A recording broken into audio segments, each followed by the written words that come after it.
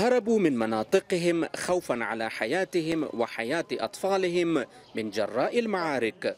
لم يجدوا ملجأ آخر غير هذا المسجد غربي العاصمة كابول.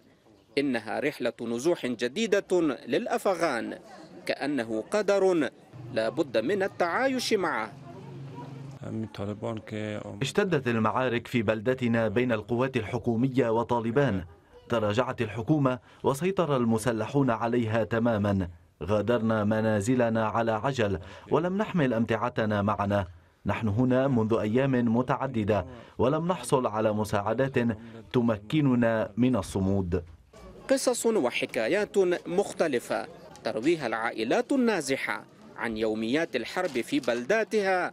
القاسم المشترك هو استمرار البؤس ومعاناة لم يكتب الفصل الأخير منها بعد لماذا نحمل ذنب حرب لسنا طرفا فيها؟ لماذا هجرنا وأجبرنا على ترك مناطقنا؟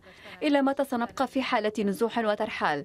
على جميع الأطراف وقف القتال ووضع حد لهذه المأساة يقول أحدث تقرير للأمم المتحدة إن المدنيين هم أكثر المتضررين من الحرب الدائرة وإن النصف الأول من العام الحالي سجل ارتفاعا قياسيا في أعداد الضحايا من المدنيين بأكثر من خمسة آلاف قتيل وجريح من العام الماضي.